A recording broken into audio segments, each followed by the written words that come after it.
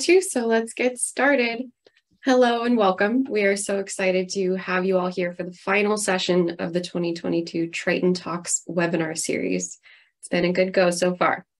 Today we'll be hearing from three researchers, researchers from PNNL about their work in the US DOE Water Power Technologies Office Triton Initiative. This research focuses on environmental monitoring technologies and methods used to evaluate environmental stressors linked to marine energy devices. Lenaïg Hemery will discuss changes in habitat, followed by a discussion on marine energy sustainability and life cycle assessments with Cailene Gunn filling in for Alicia Amerson today and Tyler Harris. Thank you all for being here. Before we dive in, I do have a few logistical notes for all of our attendees. We're using a Zoom webinar setup, which is a little different, and we've muted all of you to ensure there are no interruptions during the presentations. If you do have questions that come up though, please put them into the chat and I'll read them during the joint Q&A session after all of our presenters have given their talk. Talks. We'll also be including helpful links to resources and publications in the chat throughout the webinar, so keep your eye out for those. There are some really interesting resources we have for you. We are recording this webinar and we'll later post the recorded video on YouTube in our Triton Talks playlist. You can see it on the um, slides right here. This is what it looks like. We have a few videos that are already posted. So if you'd like to go back and watch any that you missed or share this one with someone, um, please feel free to do so. We'll post the link in the chat. Now it's time to meet the presenters. I'll let each person introduce themselves and let's start with Lenaïg Hemery. Thank you, Noelani. So hi, I'm Lenaïg Hemery. I'm a benthic ecologist in the coastal ecosystems teams within the Coastal Sciences Division at PNNL. So after studying in France, I came to the US in 2013 for a postdoc in Oregon, and I have stayed in the Pacific Northwest ever since. I have a multi multidisciplinary background in marine biology that allows me to bridge biology, ecology, and oceanography, and investigate questions related to marine macroevolution and conservation, global environmental changes, and sustainable use of marine environment around the world. In Triton, I lead the changes in habitat task, which I will tell you all about uh, in a few minutes.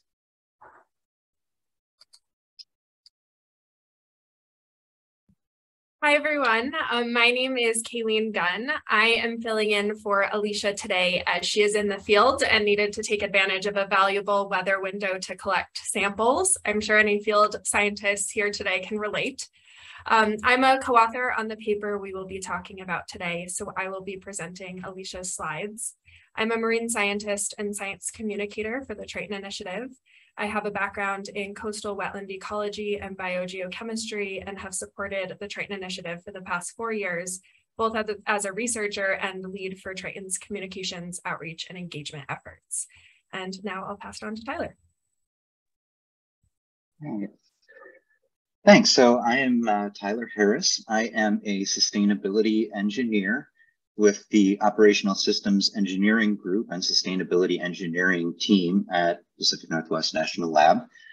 I, my background is in life cycle, environmental life cycle assessment, which I'll be talking about uh, a bit here later, and uh, also integrating other uh, aspects of quantitative aspects of sustainability like economics and um, societal impacts with the environmental impacts as well as doing growth curve modeling of production. So all of these impacts can be uh, monitored and minimized over time.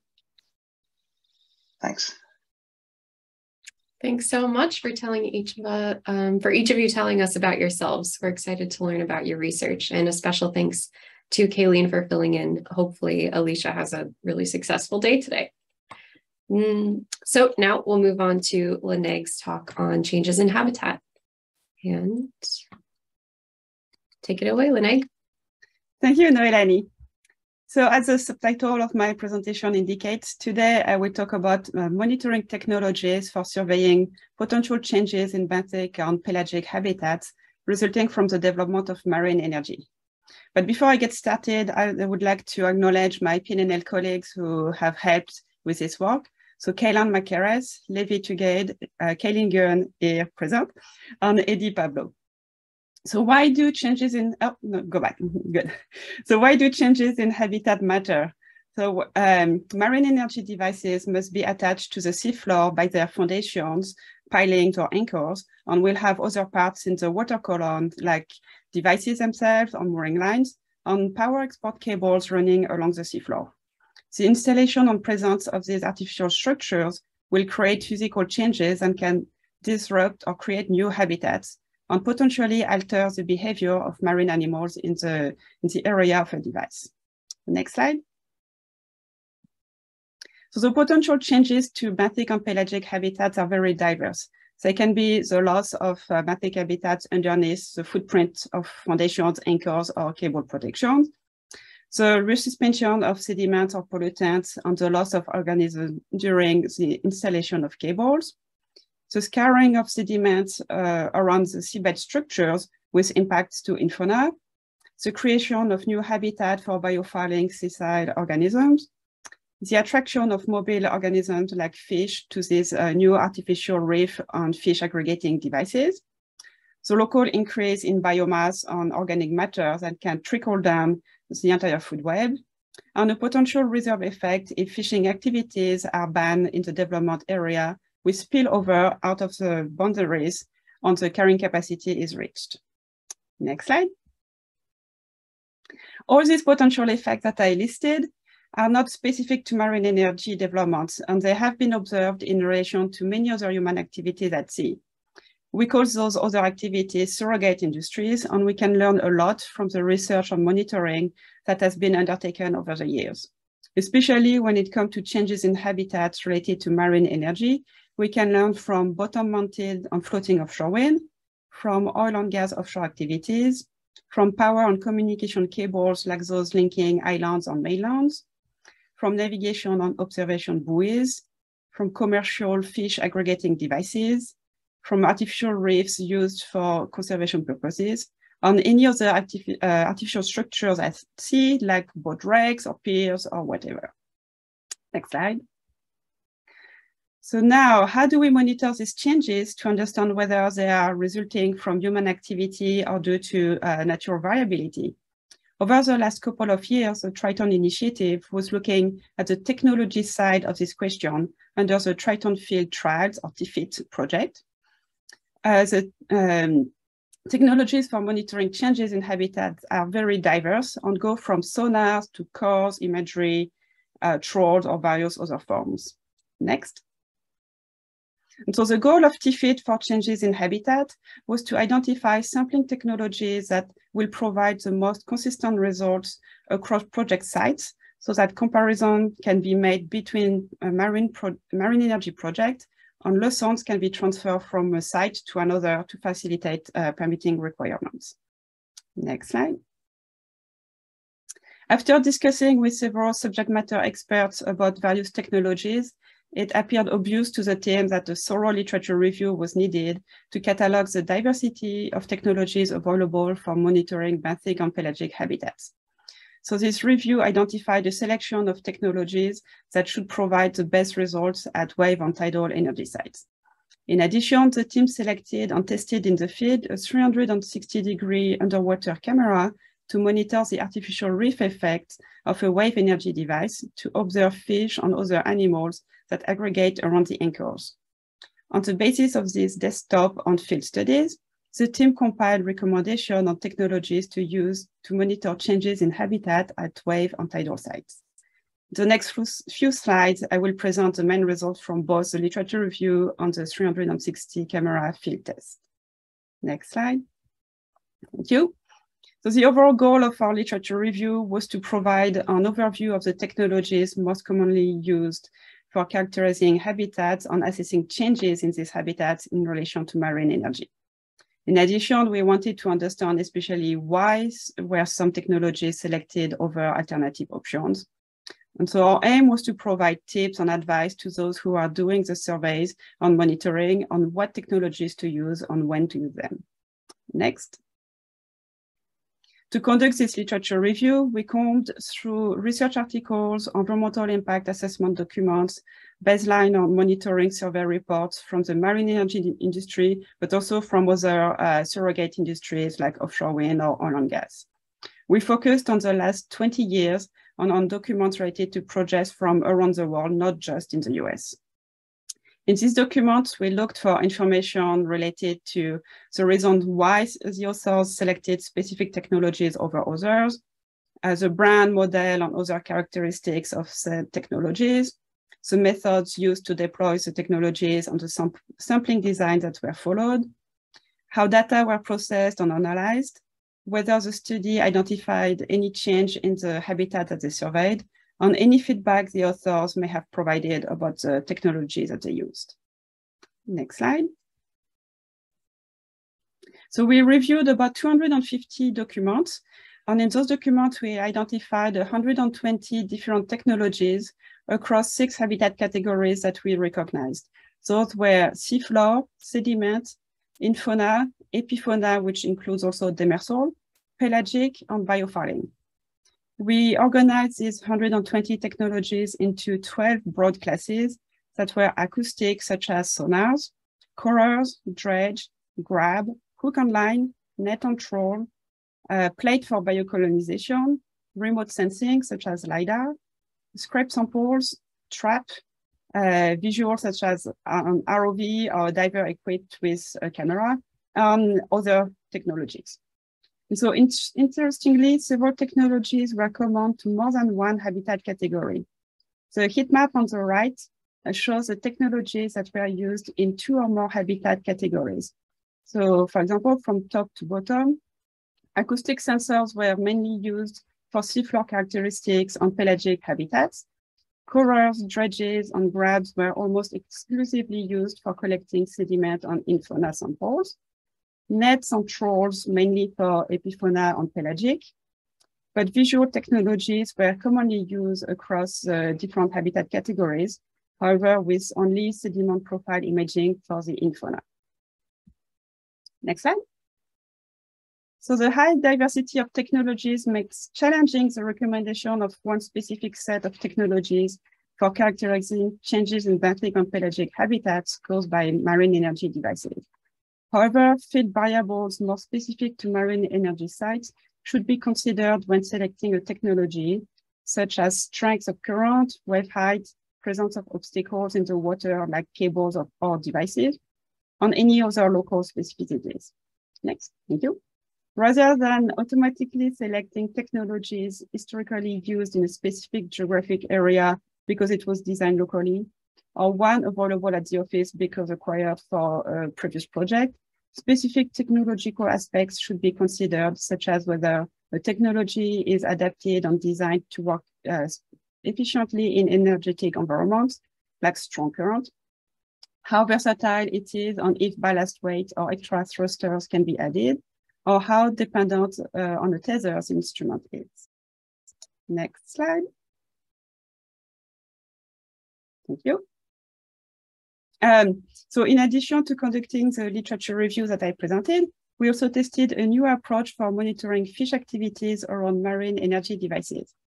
Someone could use a scuba diver or ROV to monitor the artificial reef effect, but the presence or movement of those technologies could affect the fish behavior. Another option is to deploy a video lander that will stay still in the water, but the challenge here is to keep the target in the field of view of the camera once it is deployed from the boat. So to alleviate this challenge, uh, we selected a 360 degree underwater camera to mount as a video lander so that no matter what direction it uh, faces on the seafloor, it would be looking at our target. So we used a Boxfish 360 camera with external light as you can see on the picture here. And we mounted it on a custom frame, custom made lander with uh, ballast weight. We deployed it in La Jolla, California to test by the anchors of, of the CalWave wave wave energy converter. And uh, to do so, we dropped the camera three times a day uh, for one hour each time, three days in a row. And we also measured the water visibility before and after with a Secchi disc. Next. So here is a video to show you uh, what we, we got. But before uh, Noelani plays start, so to get you situated, the concrete block in the middle is the anchor from the wave energy converter. Thank you. The pointy bar in the front is part of the lander frame, and the base of the lander is a grate underneath. So the Boxfish 360 is made, made of three cameras, each one looking uh, be between the points here. Those points are due to the stitch lines that you can see uh, vertically at three three pieces of the video. And, um, and so that distorts the images a little bit. So Noelani, now you can please start. Thank you. So on this short clip, you can see two sand baths that directly interact with the bottom corner of the, of the anchor and they use the space left underneath the anchor by uh, scoured sediment. And we can also see in the front uh, an octopus on a kelp railing. So maybe let's play one more time. The raw videos um, for the, all the deployments that we did are freely available on PRIMRE if anyone is interested in downloading them. So we'll put the, the link in the chat. Thank you. Next slide.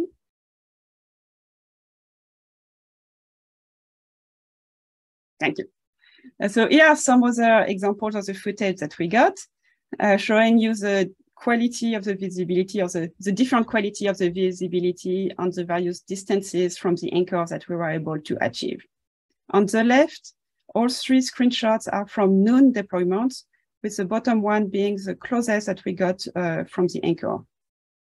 On the top right is a down deployment, where the anchor was barely visible at first, but the light through the water column improved as the sun rose, and so we could see it better by the end of the, of the hour. On the two remaining images uh, on the bottom right are dusk deployment, start and end of dusk deployment.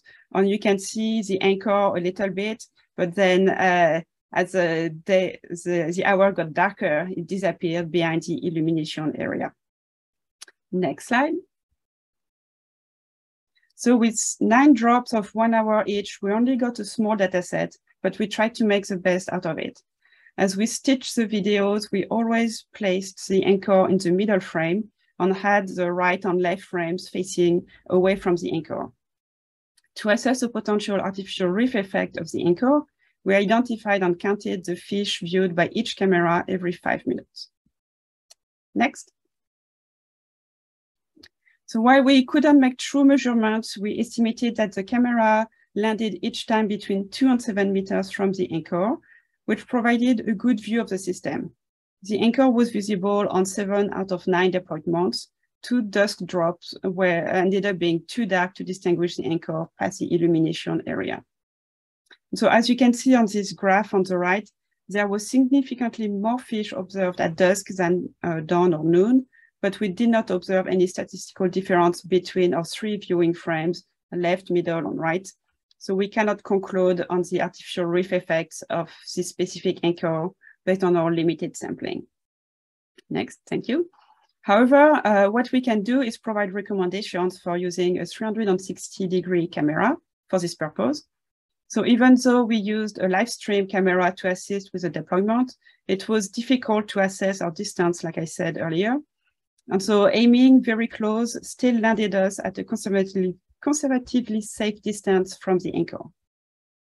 While uh, more fish were observed at dusk, we had to use external lights, and those lights also attracted big schools of baitfish, uh, which sometimes obstructed the view.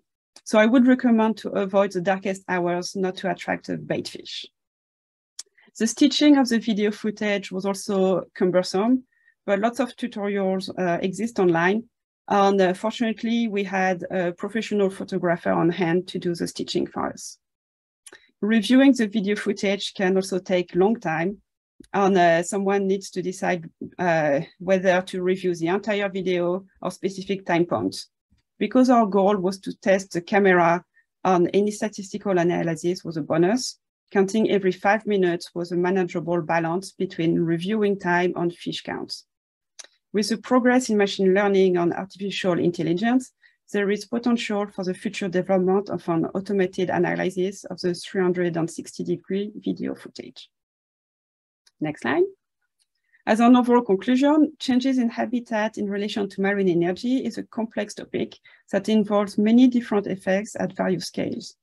Not one single technology will enable monitoring all these effects at once, and we identified 120 different technologies through our literature review. The most common technologies are visual, such as, as drop camera, ROVs, or towed cameras, and acoustic, such as multi-beam echo sounders or acoustic cameras. Adaptable, versatile, and tether-free technologies would be more suitable for marine energy sites. And last, despite the complexity of the video processing, a 360 degree video lander is a useful technology for surveying the artificial reef effect. Next. If you want to learn more about our two studies, I invite you to check out our papers in the Triton special issue in the Journal of Marine Science and Engineering, as well as a report available on Tethys that expands on the literature review. Next.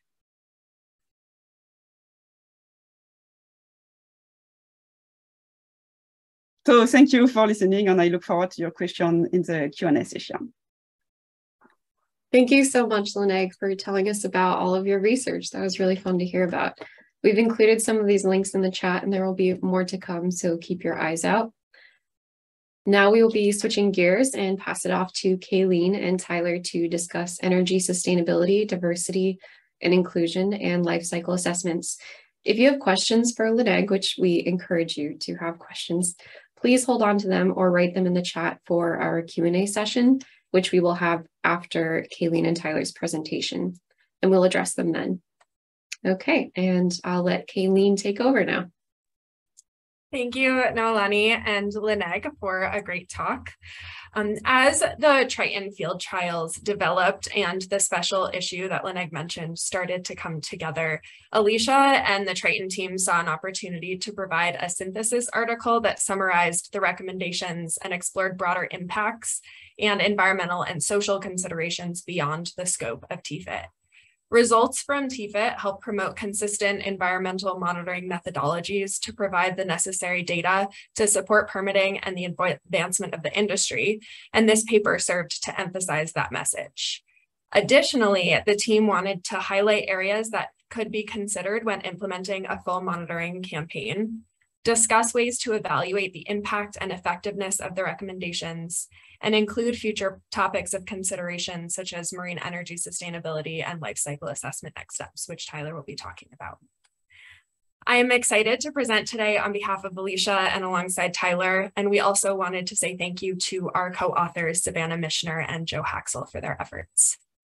Next slide, please. So Lenaïg touched on this earlier, but to reiterate and expand a bit, the Triton Field Trials project aimed to advance knowledge around possible environmental impacts of marine energy devices by assessing and improving monitoring procedures and technologies. This project explored cost-effective methods and instrumentation used to monitor four potential stressors associated with marine energy systems, including changes in habitat, as Lenaïg discussed, electromagnetic fields, collision risk, and underwater noise. The team then performed field tests on those various instruments at diverse sites across the US to monitor these stressors. The field trial started with studying electromagnetic fields in Sequim Bay, Washington in 2020, which was the initial test to kick off the project. This scenario um, did not have an operational marine energy device, but rather the cables that connect to marine energy devices were measured for magnetic fields. TFIT then conducted research in collision risk at the Portsmouth Memorial Bridge in New Hampshire, and then in the Tanana River in Alaska to test acoustic cameras for monitoring fish interactions around tidal and riverine turbines. Underwater noise was later tested at the Portsmouth Memorial Bridge as well, using a drifting hydrophone. And then to complete this, uh, this campaign, the underwater noise team deployed hydrophones and of course, the changes in habitat team tested a 360 degree camera, as Lenaïg talked about, around a wave energy converter at the Scripps Institution of Oceanography in California. The results and recommendations from all of these field trials were then published in the special issue we've discussed. More about this work can be found in previous Triton Talks webinars hosted by the research leads for each stressor, and the link to that playlist is in the chat. Um, and then the paper we're discussing today only provides high-level summaries of each of these field trials, so we encourage you to read the special issue introductory paper listed here on this slide titled Triton Field Trials, Promoting Consistent Environmental Monitoring Methodologies for Marine Energy Sites by Eves et al. if you'd like to learn more about this specific effort. Next slide, please. Due to the structure of the TFIT campaign and research goals, we were not able to address temporal considerations for environmental monitoring. Planning environmental monitoring campaigns to capture temporal movements and changes within the biological community at marine energy sites is necessary to most fully observe, measure, and record different environmental effects and interactions with a, an operational device. To visualize how to include temporal movement in an environmental monitoring campaign, the team used the PacWave test site in Newport, Oregon as a case study. This comprehensive information came from the PacWave South environmental assessment that was used to support the FERC environmental assessment hydropower license at the site, all of which can be found online. Alicia and the team were interested in using a graphical map to display the large biodiversity that exists at different locations around this site. This graphic on the slide um, does not show all species identified at PacWave, but provides key examples of migratory and native species that are present at the site throughout the year. The map includes sea turtles, small and large cetaceans, shorebirds, pelagic birds, fish, pinnipeds, and plankton. Some of these species are listed as endangered species and others are recovered after being listed. The y-axis represents where species may be found in relation to the three operational areas at PacWave based on the available data. The x-axis then represents the seasonal length of time an animal may be in the area. The team also recommends that campaigns address the amount of time an animal may be exposed to known stressors found in the environment at a marine energy site. Using data like this may inform mitigation strategies to reduce localized impacts and promote ecological resilience, which felt like an, an important component to include in this conclusion paper. Next slide, please. One of the topics also discussed in the paper is how to evaluate the effectiveness of the recommendations, which were designed to be practical and help generate representative environmental monitoring data records for each stressor studied that can actually be utilized by stakeholders in the industry. So how can we assess if the recommendations are actually helping? Beyond journal statistics, citations, and reviews, the measurable effectiveness of these recommendations can be challenging to quantify. Assessing impact relies on feedback from end users to provide insights into how recommendations influence decisions within the industry. Part of this includes ensuring that results are openly accessible. Our special issue was published in an open access journal, which is really fantastic for that. Um, and then also making sure the results are understandable to diverse audiences within the industry and beyond. Multiple avenues have been used to disseminate recommendations and engage with audiences more broadly, including traditional approaches like technical conferences and events, as well as informal stories and publicly available webinars like this one. From topic specific webinar attendance reports, survey responses, and any ancillary data on who engages and offers feedback, we can then gain insight into how stakeholders have used or plan to use recommendations. The hope is that through Triton's communications efforts, we can get valuable use case data or feedback from key stakeholders and end users in the industry, which then enables an iterative process that informs future research that addresses industry needs. We hope that you will participate in the survey at the end of the webinar. It's nice and short, um, which will help us understand your thoughts on the Triton field trials, the recommendations, and our content so the Triton team as a whole can be as effective as possible in our efforts. And with that, I will now pass the presentation over to Tyler to dive into the energy sustainability aspects of this work. Thank you, Cailene. All right, so um, I'm going to be talk taking a high summary of sustainability engineering uh, concepts, tools, and how they can be integrated with the Triton and TFIT results and used symbiotically moving forward to achieve the overall goal of sustainable development of our energy systems. And also somewhat how these uh, sustainability engineering can be used and applied to other systems. So first, what, what is sustainability? Uh, it's generally defined as the conditions under which humans and nature can exist productively in harmony and fulfill the social, economic, and other requirements for not only our current um, society, but also future generations.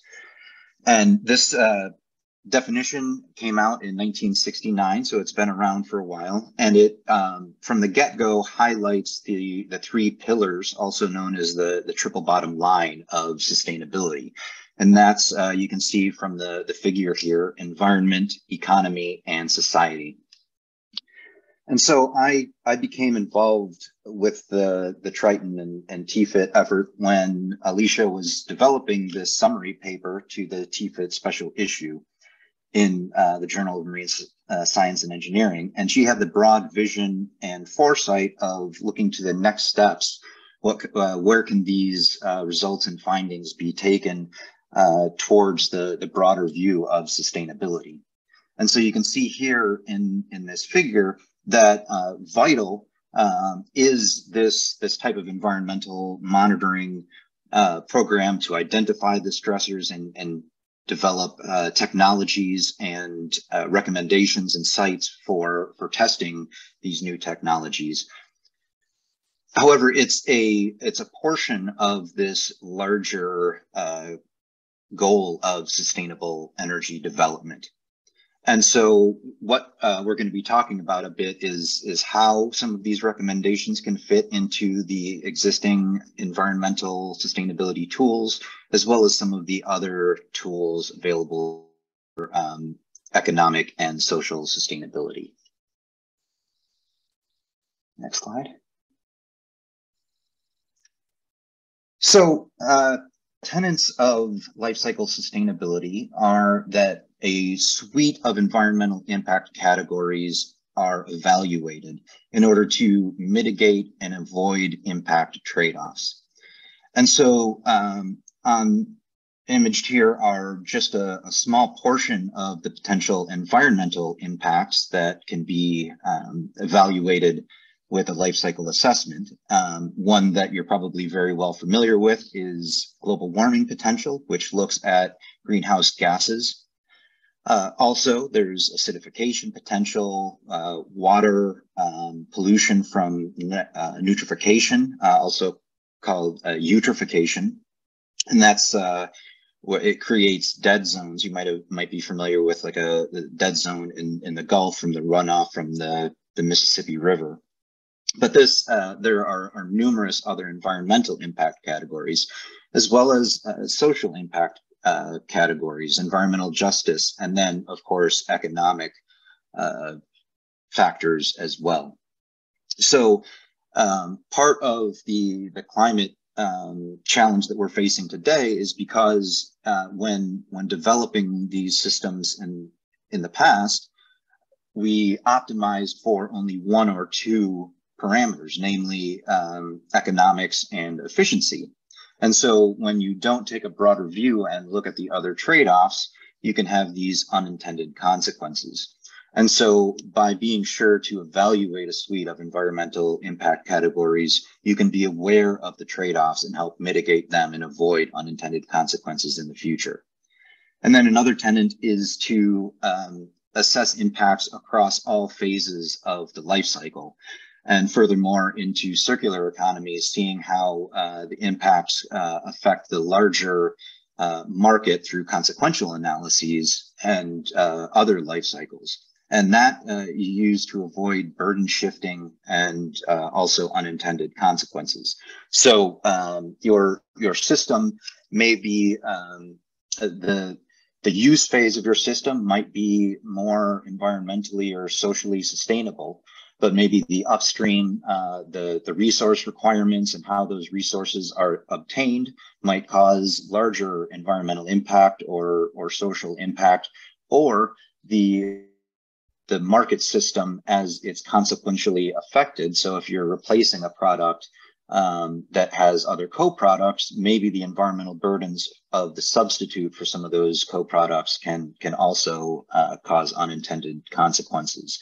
So really taking this broad perspective uh, across the life cycle and across a suite of impact categories in environmental, economic, and um, social spheres is is really important. Next slide. And so um, just briefly, uh, uh, concepts related to sustainability engineering, industrial ecology, industrial symbiosis, and circular economies. Um, these concepts were developed alongside the, the field of, of sustainability engineering. Um, it's uh, interesting um, history. The, the uh, I'll be talking about life cycle assessments, which evaluate environmental impacts quantitatively over the life cycle. The first one was completed by Coca-Cola in 1969, uh, looking at trade-offs between different bottling uh, systems. But since then, um, the the field has has taken off, and um, uh, the the concept of industrial ecology is is somewhat related to biomimicry where we want our industrial systems to be more like biological systems where the the waste of of one organism is the the input um, for for another. I mean just plants and animals is, is a you know a, a prime example uh, between the oxygen and and carbon dioxide that, that cycles between those um, two systems and so um, the more that we can get our industries to um, utilize uh, rather than waste co-products from other systems, uh, we can eventually have this large um, circular system that functions more like biological systems. Next slide. So here we're um, we're looking at a figure of the uh, marine energy life cycle and some example impacts, as well as um, how the the Triton and and TFIT uh, efforts fit into that. And so a normal uh, life cycle would be kind of on the lower left of that that figure, starting with resource extraction, then going to the the scale up of manufacturing, distribution um, installation, then the use, the operation and maintenance, decommissioning, whether, and that's the generally called the end of life, and that can be either disposal, but in a circular economy, it's, it's more like recycling, reuse, and repurposing. However, on the, the upper right portion of, of the figure is this pre-deployment and testing improvement cycle and so um, this is really, really important. And we'll, um, uh, we have a limited amount of time here, so I won't be able to talk about it much, but this kind of brings in the concepts of design for uh, environment, design for recycling, um, design for reuse, where early in the process, you, you look at these concepts and before you do full scale de deployment of a technology, you understand the, the impacts and you can make changes to the design before full deployment. And so um, we'll we'll talk about some of the other uh, impact categories for the environment, economy, and society here in a minute. But really, this precautionary approach is is vital and um, uh, uh, very important in making sure that these large energy systems, as they're deployed, uh, are sustainable. So next slide. So there's a, a suite of, of tools and methods available to look at uh, the triple bottom line or three pillars of, of sustainability. And so uh, my, my primary background is in life cycle assessments and they evaluate environmental burdens. And then there's also economic tools that include life cycle costing and techno-economic analysis. And they look at net present uh, values and, and payback periods. And then a, a, newer form of life cycle assessment is, is social life cycle assessment that evaluates social costs. And we're also in the process of, of developing a, an environmental justice life cycle assessment methodology as well. And so when you combine these, these different methodologies into a common framework, they're known as life cycle sustainability assessments but a lot of work is needed to align these methods and tools. So if you're interested, I would recommend you you getting into the field of sustainability help us uh, connect all of these approaches and take us to the next level. So next next slide. So uh, very briefly, um, life cycle assessment is the compilate, com compilation and evaluation of inputs, outputs, and potential environmental impacts of a product system throughout its life cycle. And so we looked a bit at the, the marine energy life cycle. And so you can see some of those similar uh, phases in the image to the right there. And uh, there's there's different scopes to, to what you can include in a life cycle assessment. Uh, so uh, a cradle to gate might just be looking from the, the upstream raw material extraction and acquisition through the production um, of energy and materials to the manufacturing.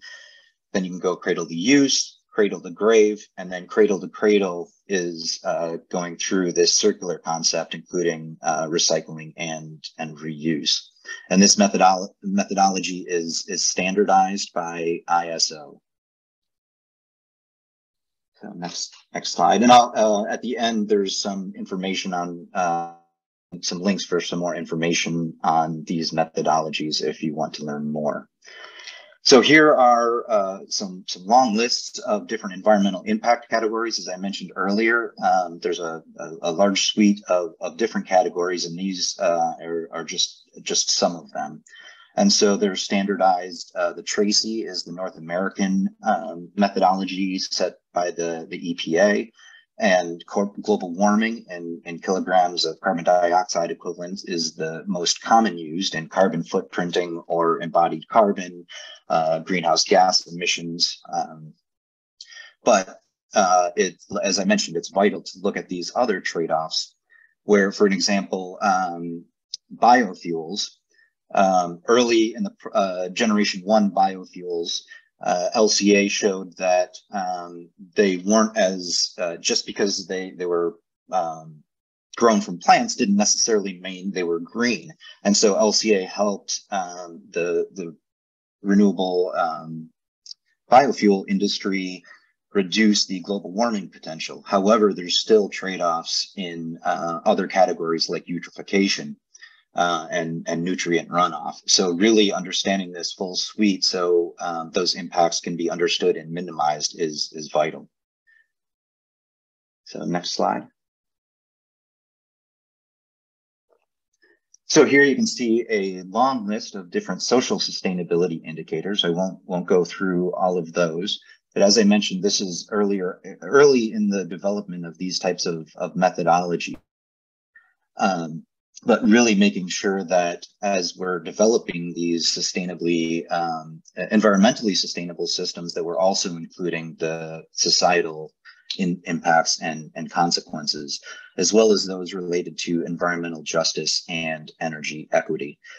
Um, we don't want to um, offset, uh, reduce um, burdens overall, uh, but have specific burdens um, impact disadvantaged communities. And so through the lens of environmental justice, we can uh, help make sure that we minimize that as well as from a life cycle perspective. Next slide. So here's a couple of examples of um, social sustainability and EJ tools. So the EPA has the EJ screen, um, and there's uh, the they they combine demographic data with environmental impact data to um, produce indicators um, and and maps that that show hotspots in environmental justice concerns. And then there's also the the DOE LEAD tool to look at low income energy affordability data for energy equity concerns. Next slide. And then uh, life cycle economic tools include life cycle costing, um, uh, looking at uh, rather than just kind of the um, the the manufacturing of, of a product or um, the, the, sales, right? It, it's looking at the the full picture of construction through end of life, and then wherever possible, the environmentally the monetized environmental liabilities. But there's also a whole life cycle uh, whole life cost that that takes in non-monetized externalities uh, like environmental impacts and and other um, costs, impacts, and and benefits. And techno-economic economic analysis is very similar to life cycle costing, uh, but generally looks at um, developing technologies to help ensure uh, economic viability in the market, while LCC generally looks at existing systems. Next slide. As I mentioned before, uh, there's these concept designed uh, for environment, repair, and recycling.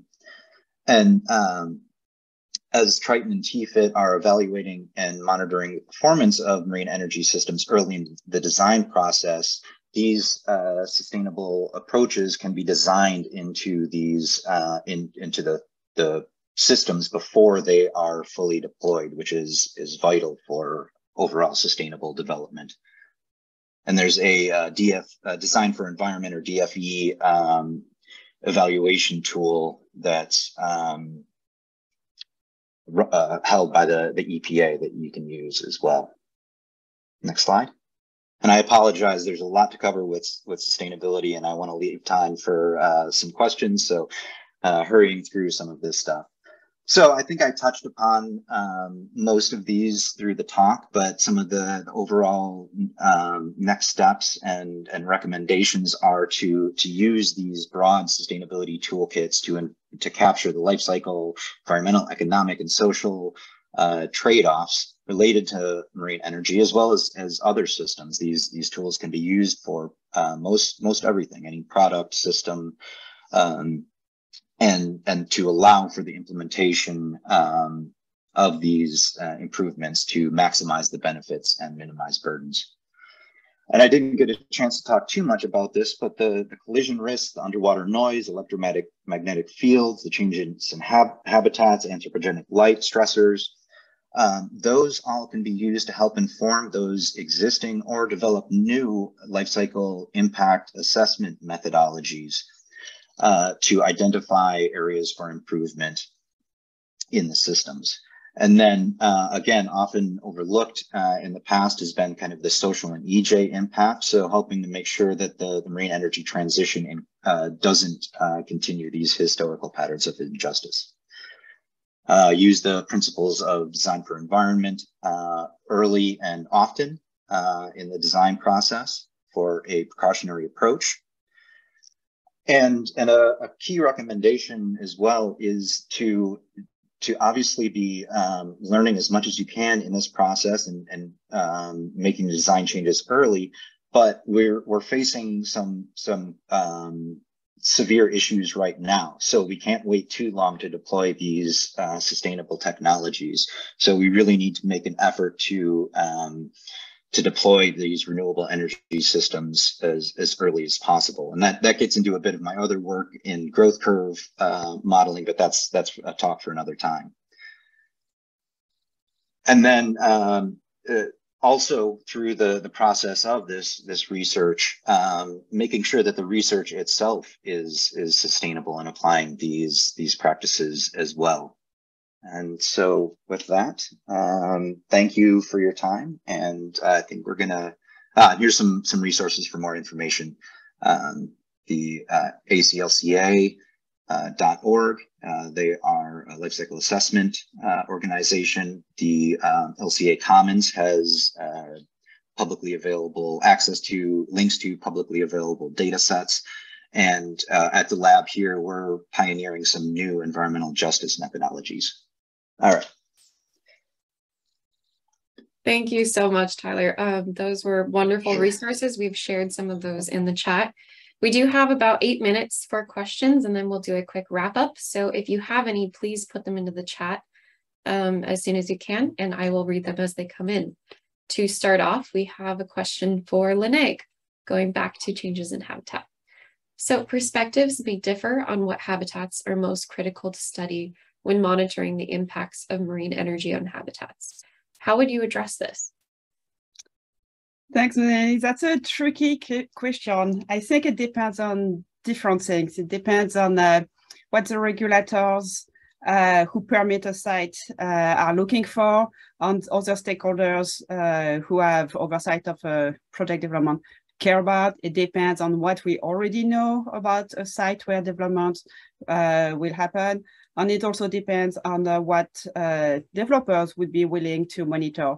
If it's not uh, a requirement, mandatory requirement, they might not be willing to monitor something, might not have the funding for that. Although if government is providing funding, they might be more willing to let to have some monitoring around here. So it's a discussion that needs to happen early on between all the different parties involved to um, to discuss uh, what's the most up to date on sound science that we have about habitats at a site that is targeted on what is, still needs to be known and, and monitored. Thank you. And we're leading into another question. I think this would be for Tyler. How difficult is it to complete an environmental life cycle assessment? And is there a streamlined approach? Yeah, that's that's a good question. So uh, traditionally, completing environmental life cycle assessments has been a, a resource-intensive process. Uh, as uh, the, I imagine the, the first LCA back in the late 60s was was extremely difficult. Over the years, there's um, been a lot of background, uh, vital background elementary flows and life cycle inventories developed. So for practitioners, it's it's become um, uh, a bit more easy, but you really have to become an expert in in the the various systems to be able to put together um, the full life cycle and and evaluate these these impacts.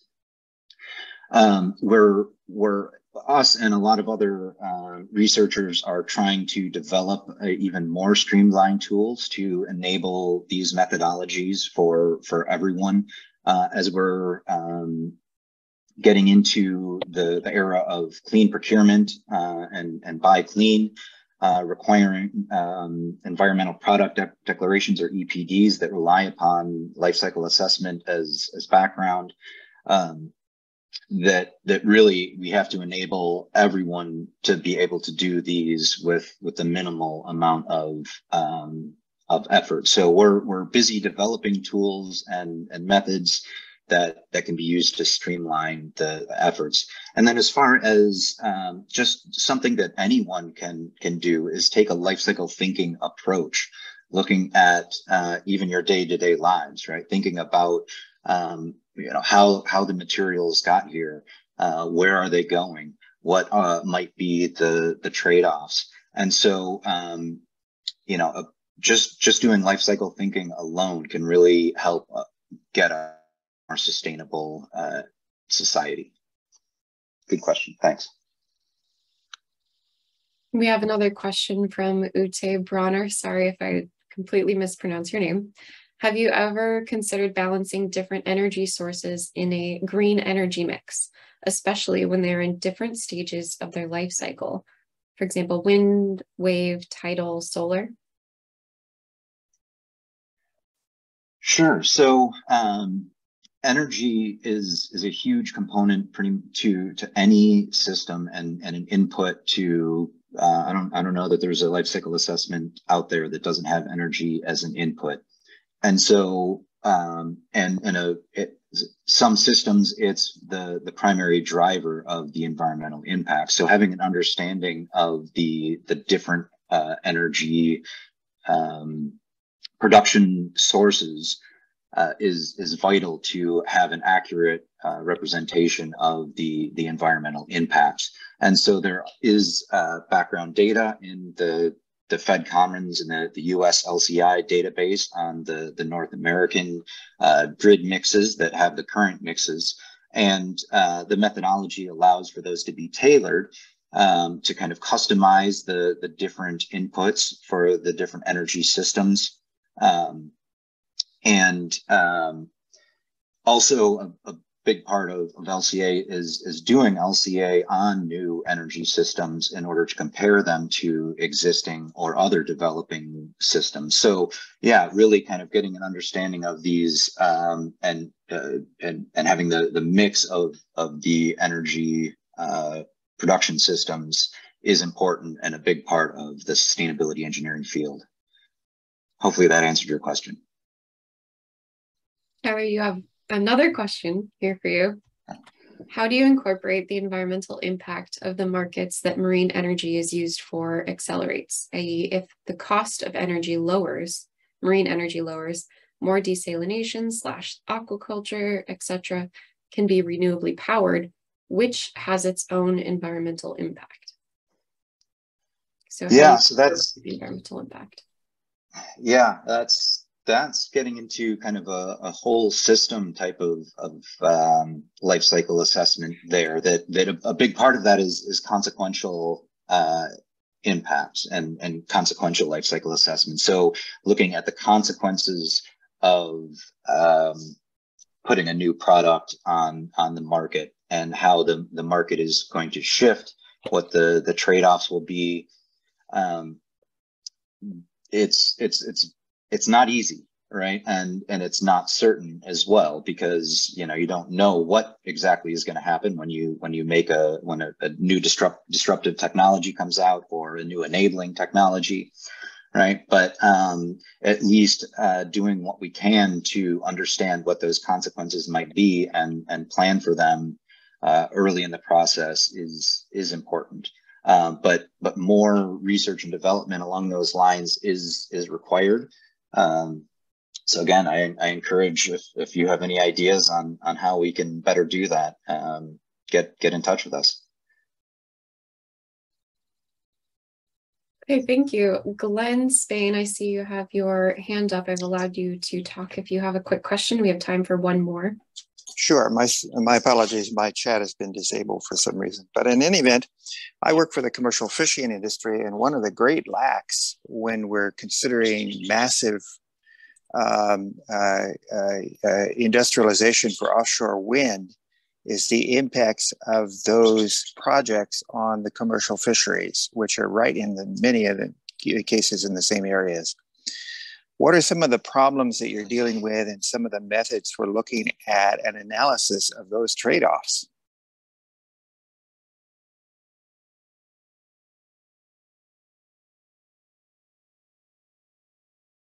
I don't know if, if anyone else wants to, to tackle that. Um, I, I, can briefly say that uh, another study looking at Alaskan kelp to energy, uh, we took a kind of a, a holistic a, approach, um, and uh, that was was included in in the the development and understanding of the the approach.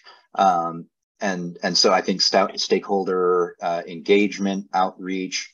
Um, really getting an understanding from the people um, on you know doing that work um, and getting feedback is is vital. Yeah, I'll add to that. We definitely want to hear from all types of stakeholders in the industry. So if you have any ideas or topics you think Triton can cover, um, please let us know. Our email address is on this slide right here. We also have a survey, um, which gives opportunities to, to bring about some of these these topics of discussions. So I highly encourage you to connect with us. Okay, it is the top of the hour, so we I'm sure there are more questions, but please do utilize these resources. We just have a few more slides for you if you have time, and we do have a survey that would be really helpful for you to complete. It helps us with our outreach efforts. Our team has put together really helpful resources to help you stay connected and you can find these at the Linktree. It includes our monthly newsletter, the monthly Triton Stories blog, our upcoming webinars, and more. You can find all of these, like I said, in the Linktree by scanning this QR code or by visiting our website at pnnl.gov slash projects slash Triton. Um, like I said, we'd love to hear your feedback and we encourage you to take our five minute survey so that we can continue to improve our outreach efforts. This concludes our last session of the 2022 Triton Talks webinar series. please take five minutes to fill out the survey once again. And we've included all the links that you need in the chat. So if you have any more questions, please feel free to contact us. Thank you, Lene, Cailene, and Tyler, and Alicia, and thank you all for joining. Thank Thank you. you all.